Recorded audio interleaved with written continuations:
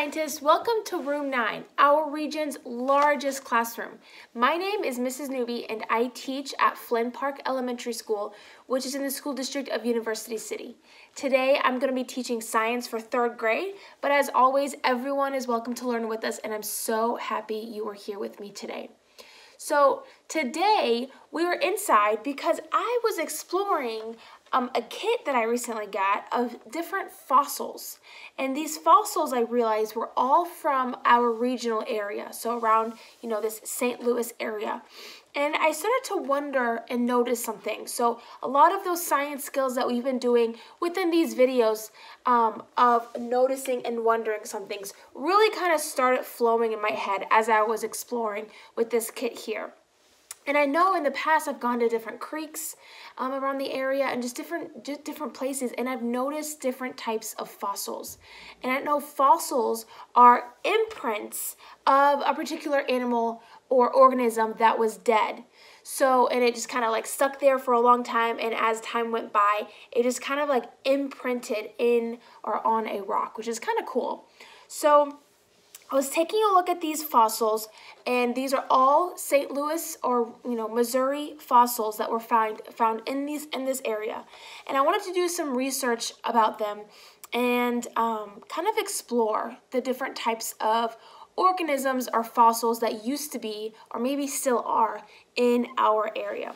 So the first one that I saw, which was really cool, is this shark tooth. I'm sure you guys seen lots and lots of shark teeth.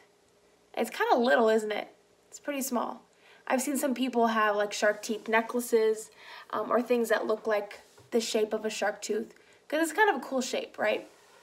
So I found this one um, and I also was able to um, go and find some pictures of these types of um, organisms that were found and have fossils now.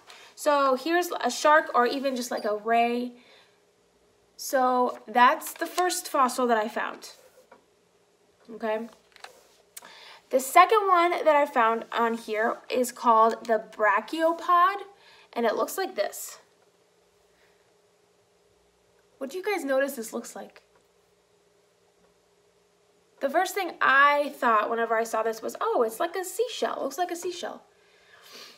And when I looked up a picture for it, it is a shelled animal. That's kind of the description that was given. So it's kind of like a shelled animal. Look how different these look.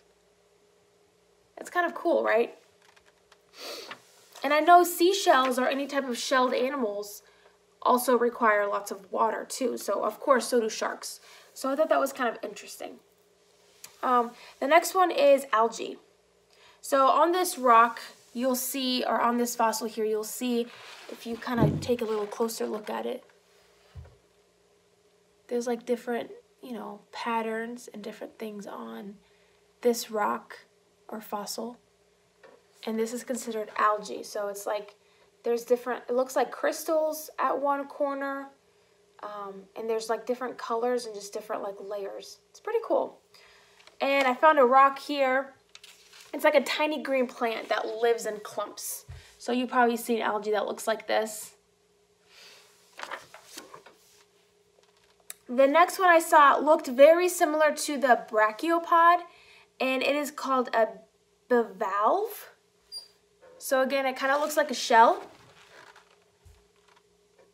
It's pretty cool looking. There's like some little bumps on it too. And again, it's kind of shaped like a seashell, right? And when I looked this one up, I recognized them right away. I recognized what they look like when they're alive. Haven't you guys seen these? They're clams.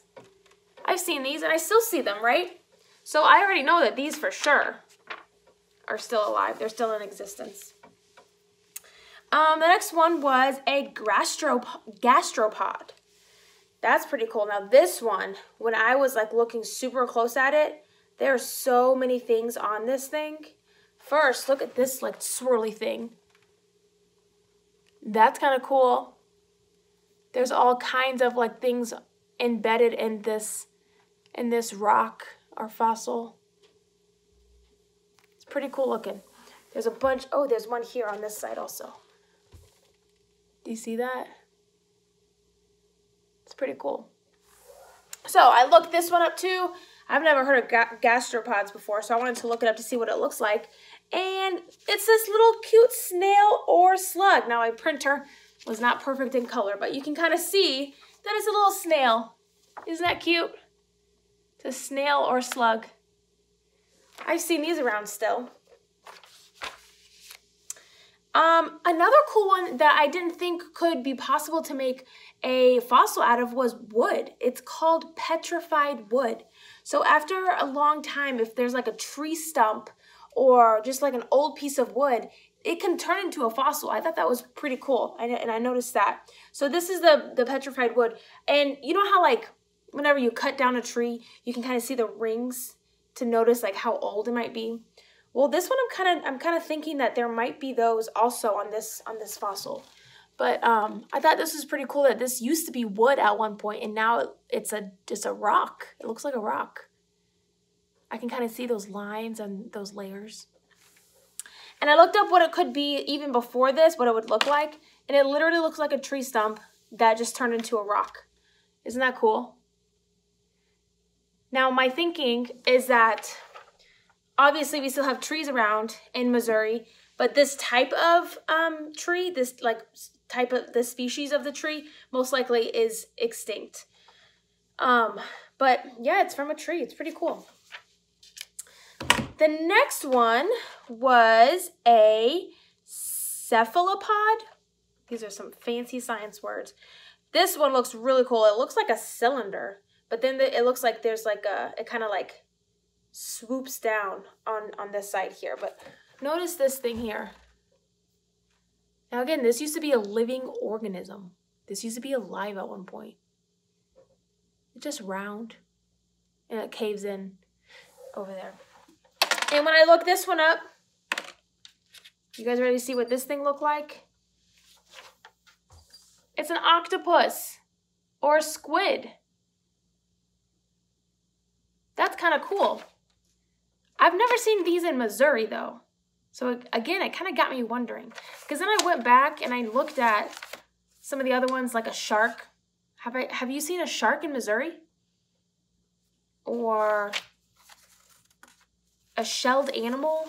I don't think I really see very many shelled animals besides maybe those clams.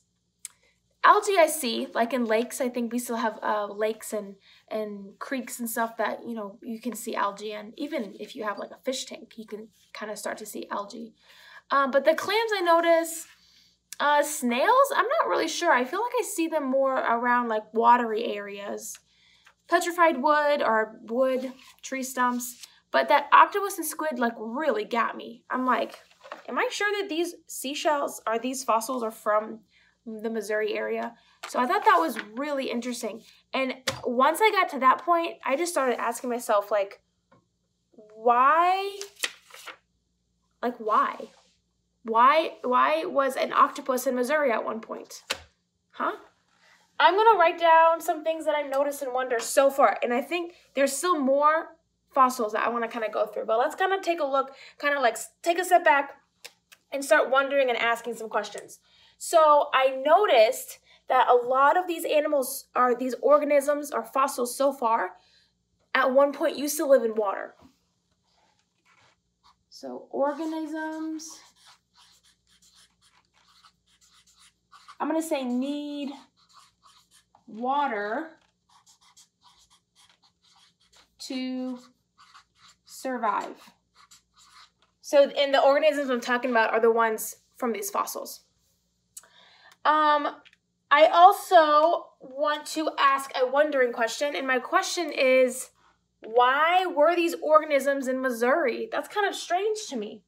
We we don't have very much water. I mean, we have creeks um, and maybe you know the the rivers that we have, and some um, you know just some little ponds and stuff.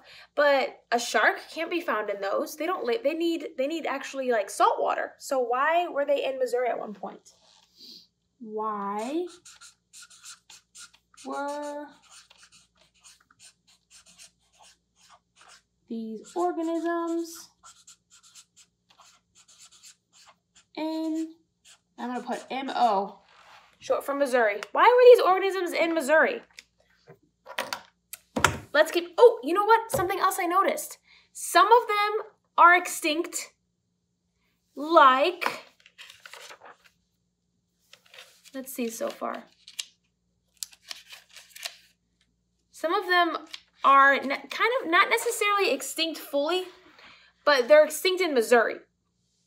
So like, for example, my shark, my shark friend here, he's extinct in Missouri. His relatives and the other organisms that are kind of related to him are in other parts of the world. They're in seas, all in all parts of the world. World. So are these octopus and um, octopi and squid.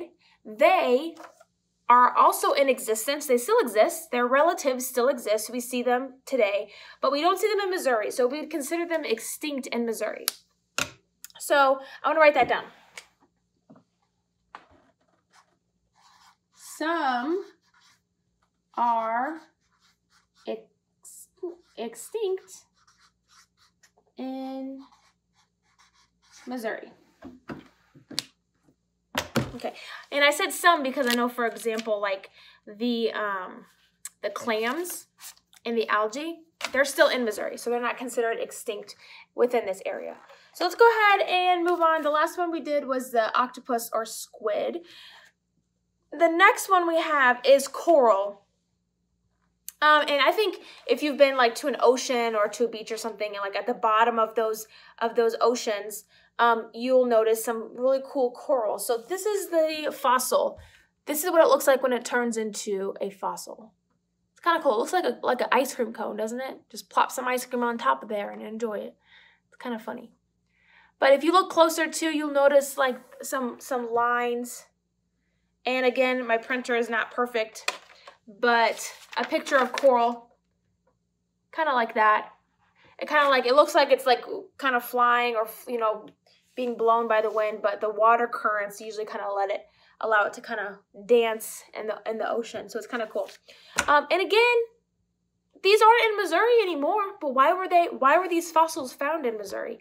If the fossils were found in Missouri, that means that at one point they used to be here.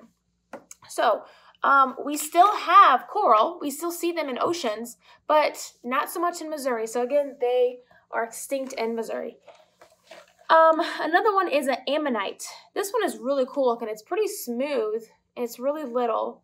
Um, but yeah, and it's really dark too. Look at that. It's pretty dark. It looks like there's like a, like a, uh, I don't know, something on the back of it right here. And again, over time, it was probably on, you know, on something for a really long time. Um, before it became a fossil, it was a, it's kind of related to an octopus or squid. You want to see what it looked like? It's pretty cool looking. That's what the ammonites look like. And these, for sure, are not found anywhere. So not only in Missouri, but all over the world, they're just not, they're just not um, in existence. So we consider these extinct. So that was an example of one that is extinct whenever I looked it up. And the last one is a crinoid. These were pretty cool looking. This one had a lot of texture to it. So here's the biggest piece I had in this kit from a crinoid. Um, and again, there's all these bumpy layers and it's just like a straight, it looks like it's, it looks like it was probably like an animal that was probably long. Um, but yeah, there's like these textured lines here, super bumpy, super cool. Um, and when I look this up, this one is considered the Missouri fossil because there's lots of these around. And if you go into creeks today, you'll probably be able to find some uh, crinoid fossils. And this is what they look like. Whoa, right? Imagine, imagine going somewhere or being in some water. And again, this is found in water and seeing something that giant. Um, these are also uh, related to starfish. So again, starfish I know live in oceans. They don't live in lakes or rivers or creeks. Um, but again, so these are not found in Missouri anymore. The fossils are found in Missouri, but the live ones are not found in Missouri. But their relatives, like starfish, are found in oceans. Um, so again, it kind of got me curious. Why are these or were these organisms once in Missouri when they were alive? Okay, so this fossil kit was super, super cool. I definitely plan on maybe going and exploring in some creeks to see if I can find actual um, fossils that are just like still in nature. Now, these a lot of cool scientists were able to collect throughout and you know create a kit to kind of make it easier. But I know for a fact that if we go and explore in nature, we'll definitely be able to see some more fossils that are just laying around, which is kind of cool because if an organism dies and it just stays there over and over and over a long period of time, it's eventually going to embed in that stone or that rock and you'll be able to see an indentation and kind of like the shape of what that organism looked like. So I have a cool article here. Usually I have a book, but I actually have this cool article that was written by Washington University Institute for School Partnership. Um, and they came up with some pretty cool facts and just research about ancient Missouri. So, since we live in this area, it'd be interesting to know what this area looked like. Do you think that this area always looked like this? Imagine your neighborhood. Imagine where you living you're living right now. What do you think it looked like a hundred years ago? Were there buildings in that area? What do you think it looked like 500 years ago? or maybe a thousand, or maybe millions and millions of years ago. Have you ever thought about that? It is mind blowing how crazy this area has changed over time. And it takes a long time for things like this to happen. But this article definitely helps us kind of know what happened at the beginning. What did Missouri look like way before we even existed? um, and kind of like as it progressed, what did it start slowly changing into? Um, so the question is asking, what did Missouri look like a long, long, long time ago, and how did it change over time? So at the beginning, and it's kind of cool, it has a picture of the uh, the crinoid on there. At the beginning, it was an ocean. Whoa, that makes total sense. That already answers our question all of these fossils were found in Missouri because Missouri used to be an ocean. This whole entire area used to be filled with water. Can you imagine that? This the land that we step on now was once covered in water and it used to be an ocean. So that explains exactly why all of these these water organisms were found. All the fossils were found in here. Let's read to see what they found. It says what we now know as Missouri used to be covered by a warm, shallow ocean millions and millions of years ago. During this time, Missouri was home to marine life like crinoids, corals, and starfish. That makes total sense. It's kind of crazy to imagine that there used to be a ton of water in this area. All of the state, the whole state of Missouri used to be covered in water. Now it says that it was a shallow ocean, so it wasn't very deep. Maybe it wasn't as deep as the oceans that we see now, but it was still considered an ocean. And that's why a lot of these organisms were found. Their um, fossils were found here in Missouri. And then after, over time, it started to change even more. Um, and the next section is dinosaurs in Missouri. So there used to be dinosaurs here.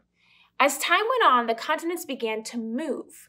This raised our land out of the water it used to be under. So the land actually was raised or lifted up. So it kind of got us out of that water, which it was shallow to begin with. So it probably didn't take much lifting, but as like the continents were kind of moving and shifting, it allowed the land in Missouri to also rise up. Dinosaurs used to roam the land of Missouri millions of years ago, which still was very close to a large sea at that time. So our land was kind of raised up, but be since it was raised up a little bit, there was still kind of like a sea nearby. So although our Missouri land wasn't in water anymore, we were still really close to water because there were some parts of the area that didn't kind of didn't get raised up as much.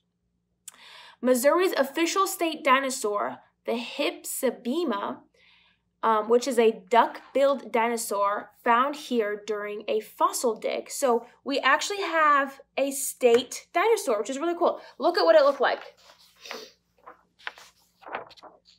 Isn't that cool? That's really cool. And I think I um, have another picture here of a dinosaur, and this is most likely what it also looked like. Can you imagine one of these roaming around in Missouri? Crazy, right? Imagine that area that this dinosaur is, is walking on. That's where your house is built now. That's kind of funny to think about, right? So silly. Um, and then paleontologists have even found T Rex relatives in Missouri. So, not exactly T Rexes, but relatives of T Rexes. So, animal or dinosaurs that are very similar to T Rexes were also found in Missouri. So, dinosaurs roamed Missouri before, or I'm sorry, after it was an ocean, before we existed. Dinosaurs took over this land. Kind of cool. Um, and again, obviously, we know that dinosaurs are extinct, but there's still certain animals today that are relatives, so such as birds. There's lots of birds that are related to dinosaurs um, that still exist today, but dinosaurs themselves do not exist. So after the dinosaurs extinct, then we get into the Ice Age times in Missouri. After the dinosaurs went extinct 65 million years ago, Missouri went through some ice ages. Animals like mastodons, which are related to today's elephants, lived in Missouri. The changes to the land during that time created our rivers. So during the Ice Age, after the, all of that ice melted, that's what allowed us to get the rivers that we have, such as the Missouri and the Mississippi River. By 12,000 years ago, the earliest humans to exist came to Missouri because of these rivers. So a lot of people noticed the rivers nearby this land in Missouri and they said, I want to settle here because water is a big, important resource for humans to be able to get the things that we need. So they settled here we have found their arrowheads at Mastodon's State Park, and these humans probably killed mastodons for food. So here's a cool, kind of like a silhouette of a mastodon. It looks like a giant elephant, but it had fur to kind of keep it warm because, of course, it lived in the Ice Age. Really cool looking. I would love to see one of those in real life. So now we're going to get into Missouri today. So Missouri today, um, the Missouri we know today has different types of ecosystems than it had in ancient past. Today, Missouri has prairies, forests, and ponds with the types of animals you have been studying. A hundred or more years ago, there weren't as many city areas or neighborhoods. So think about that. A hundred or more years ago, there weren't all these buildings and neighborhoods and houses. So even you know, 100 years ago compared to millions of years ago, the timing of things still change. It changes over time. There were a lot more wild prairies, forests, and wetlands. Just imagine what your neighborhood looked like before people created the city or town. Imagine what it looked like 200 years ago. Imagine what it looked like thousands of years ago. Imagine what it looked like millions of years ago. And I know I asked you those questions before, but still, it is totally mind blowing to think about what our area looked like before we existed, and again, millions of years ago. There could be fossil clues in your own backyard. So I think that's a really, really good point. Anytime you're exploring outside and you notice an indention of something, uh, some type of fossil, even if it looks like a seashell fossil, like that's still a cool fossil, and that seashell was alive so long ago. It takes so much time for a fossil to be created. So it's really cool that you can literally explore anywhere in your backyard because, again, dinosaurs used to roam around that area. So you could find so many cool things in your backyard and different parks uh, near different creeks. Really cool. So many of the types of living things from ancient Missouri are now extinct. So they did die. Um, however, some still exist today, and some relatives of these plants and animals still exist today. Uh, but they just live in different parts. They don't live in Missouri anymore because we're not an ocean. For example, Missouri crinoids are now extinct, but their relatives are still alive in other parts of the world that are still covered in water because they need water to survive. Dinosaurs are now extinct, mastodons are now extinct, but you can still find snails and freshwater clams and mussels whose ancestors lived long ago in parts of Missouri that still have water. Humans have changed Missouri's ecosystems in the in the recent past as well. So humans can also affect the area that we live in. Not only the land shifting and the continents kind of moving and raising the land, but humans, us as humans, also change. So whenever we build um, neighborhoods and environments, we kind of change the living organisms that are going to be in that area.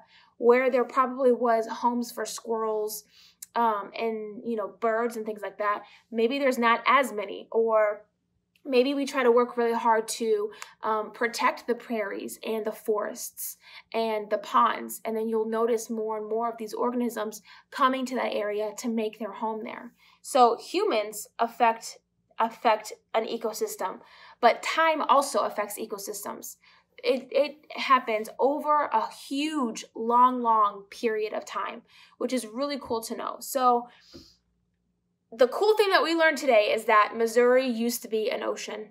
And millions and millions and millions of years ago, after it was an ocean and after the land shifted, dinosaurs took over. So that's kind of cool. And even after dinosaurs, we had mastodons. Missouri is a cool, interesting, super awesome place. And just knowing the history of it like that is really, really awesome to know. So I really want to challenge you. I want to encourage you to go out sometime. I know the weather is getting nice and warm. You can go out, go to a creek, go hiking, do something, but try to look and keep your eyes open to things that you notice and wonder about the area that you live in because you will be surprised about how amazing our land is. I hope you had fun with this lesson and learning some amazing things about your home, your homeland, and I will see you next week. Bye.